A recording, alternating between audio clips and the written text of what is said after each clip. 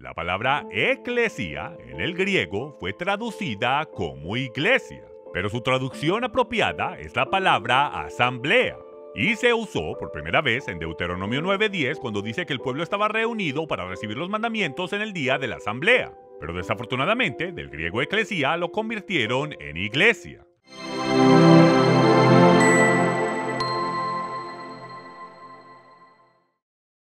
Gracias a Pablo, gracias a, que él nos explica todas estas cosas, gracias a él tenemos un mejor entendimiento de todo esto.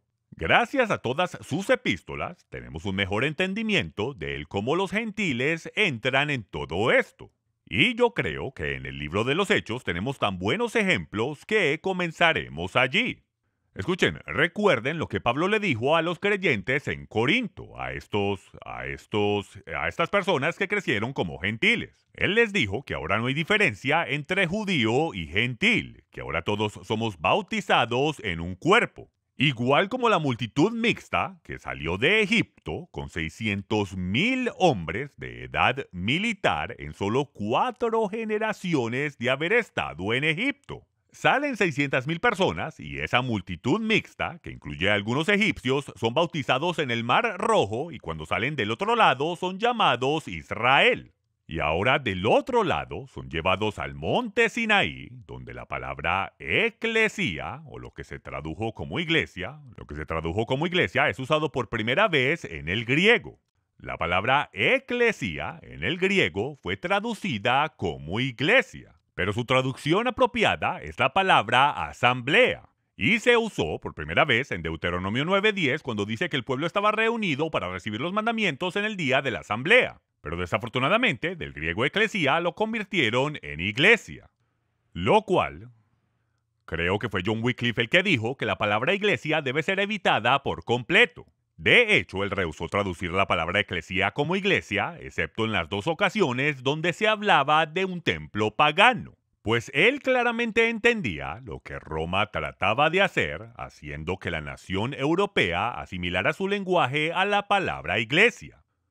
Pero bueno, estas manifestaciones del Espíritu son las siguientes. Palabra de sabiduría, palabra de conocimiento, fe, dones de sanidad, poder de milagros, profecía, discernimiento de espíritus, hablar en lenguas e interpretación de lenguas. Todas estas son manifestaciones del Espíritu. En el día de Pentecostés hablaron en lenguas, pues habían personas allí que habían subido a Jerusalén de todas partes, de varias partes en el imperio romano, los cuales escucharon a estos galileos hablar en su lenguaje las maravillosas obras de Dios. Y aunque fue evidente la manifestación de hablar en lenguas en aquellos momentos, no hubo la necesidad de interpretación de lenguas. Vemos más adelante en el libro de los Hechos que a Pedro, que a Pedro se le da la revelación de que debe ir junto con tres gentiles, con estos tres gentiles, a la casa de Cornelio, al hogar de Cornelio, y hablarle a los gentiles, a los gentiles de esa casa.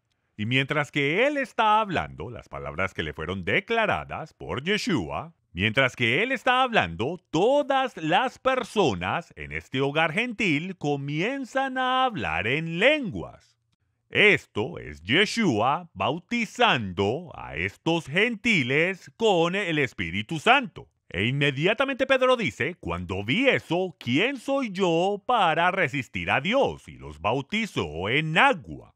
Esto fue lo que Yeshua ordenó, que bautizara a todos en agua y luego serían bautizados con el Espíritu Santo. Pero Yeshua en esta ocasión lo hizo al revés, los bautizó con el Espíritu Santo primero, para que Pedro pueda ver la manifestación y pueda entender que los gentiles, que los gentiles también pueden recibir, pueden recibir el don del Espíritu Santo y que ellos también pueden hablar en lenguas. De la misma manera que ellos lo habían hecho en el día de Pentecostés y ahora él sabe que estos gentiles han entrado en la familia de la fe a través de Yeshua. Y entonces, Esto comenzó a cambiar las cosas en el libro de los Hechos, y entonces cuando Pedro regresa a Jerusalén, le preguntan inmediatamente por qué bautizó a estos gentiles que no se han presentado en una corte rabínica para declarar que Moisés nos entregó las siete leyes no ágidas, lo cual ellos aprendieron a través del judaísmo farisaico, a través de las tonterías inventadas por el sistema religioso de los fariseos. Pedro no hizo nada de eso. Y cuando él les contó la historia completa, ellos no pudieron más que decir, bueno, Dios le ha, Dios le ha concedido arrepentimiento a los gentiles.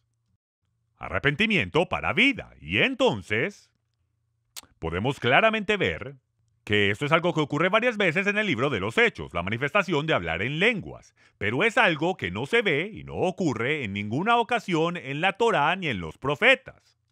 Lo que sí vemos es una profecía por el profeta Isaías, la cual dice que él le hablará a estas personas en un lenguaje y en un idioma que no conocen.